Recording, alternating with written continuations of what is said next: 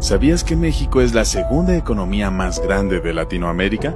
hace pensar que la economía mexicana está viviendo un momento importante. No hace falta irse a Brasil, México está haciéndose una cosa, aunque parezca mentira que López Obrador lo esté haciendo. Pone a México como una de las regiones con más potencial de convertirse en un país rico en la próxima década. Uno de los que más potencial tienen ahora mismo para convertirse en un país rico, pero no solo eso, para quitarle el puesto también a China como superpotencia, pero superpotencia que además es la fábrica del mundo. Enhorabuena AMLO con ese comportamiento económico que está teniendo la economía mexicana. Es una disciplina fiscal y monetaria este, eh, increíble, yo me iría ahora a México.